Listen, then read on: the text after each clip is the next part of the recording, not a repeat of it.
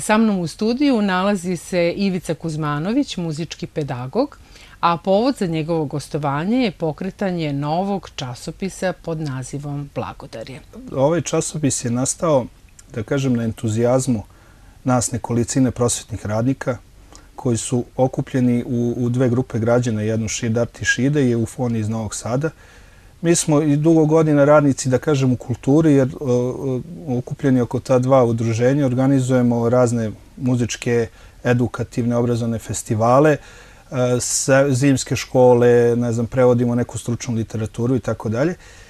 I mi to već radimo godinama i onda smo radeći te festivale i radeći, baveći se i družeći se sa ljudima za koje znamo, koji su stručni ili koji su, da tako kažem, naši stručnjaci iz oblasti vaspitanja i obrazovanja, pošto smo im organizovali predavanja i, i, i razne gostovanja, onda smo došli na ideju da napravimo jedan časopis koji će nam zapravo pomoći da tražimo neke nove ili da budemo na nekom novom putu otkrivanja i traženja rešenja iz, e, za probleme koje imamo i kao nastavnici i kao roditelji.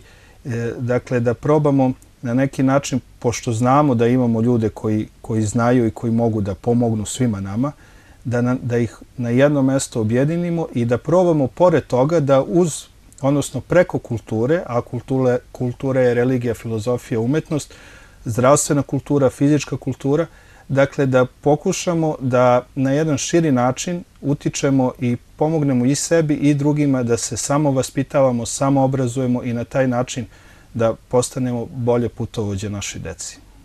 Časopis ima jako milozvučno ime, Blagodarje, pa ko je bio kum i komu je dao takav naziv?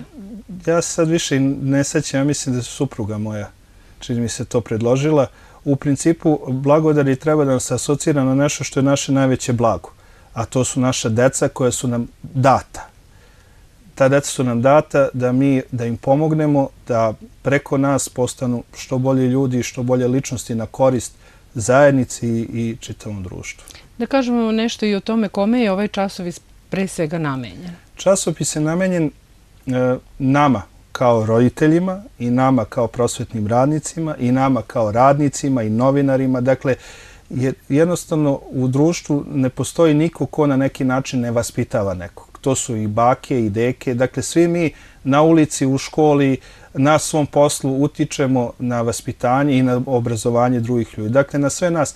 Jer, znate kako, mi, iako za časopis pišu naši najstručniji ljudi iz tih oblasti, iako se trudimo da ti tekstovi budu jako razumljivi, dakle, da budu nešto između usko stručnih tekstova i onih popularne pedagogije, psihologije, tipa ne znam, kako da uspavate bebu, pustite slavinu na česmi ili tako dalje.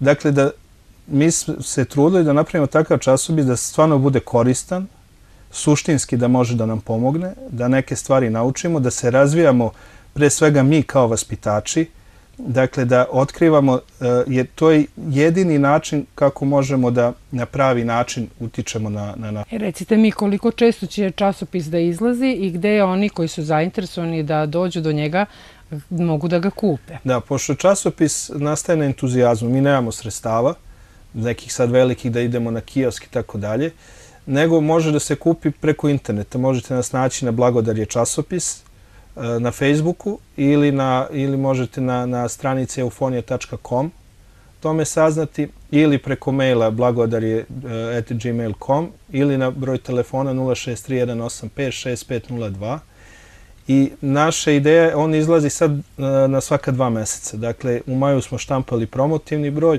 sad je u septembru je štampan prvi, odnosno drugi, u novembru sad izlazi treći, pa će onda izaći u, u E, januaru, u martu i maju. E, onda se nadamo da ćemo, ovaj, sad sve zavisi od toga, pošto ćemo učestvovati na konkursima e, iz oblasti kulture i obrazovanja. E, nadam se da ćemo dobiti podršku, jer ne znam zašto ne bismo dobili ako sad već ovaj, ljudi, naši najveći ostruke, to jako podržavaju i jako dobro govore o tome. E, siguran sam da, da će nas ovaj, te naše institucije da će nas podržati i da će nam pomoći, pa onda može časopis bude izlazio i češće i možda bude obimniji, sad ima 40 stranica. Mi svaki broj možemo da pravimo da ima sigurno 100 stranica, ali jednostavno nemamo sredstava da možemo da platimo štampu e, tako obimnog časopisa. Koja je cena časopisa? 800 dinara je preplata godišnja za tih šest brojeva, e, a pojedinačno 190 dinara smo odredili cenu neku. Dakle, to je vrlo simbolično koliko da pokrijemo troškove, jer mi kad smo krenuli u celu tu priču i nije nam ideja bila da mi sad tu nešto zaradimo ili da od toga pravimo biznis. Dakle, nama su potrebna sredstva samo koliko pokrijemo štampu. Jer svi ti ljudi koji pišu za časopis, oni ne traže nikakav honorar za to i to je sve na entuzijazmu, da kažem tako, satkano.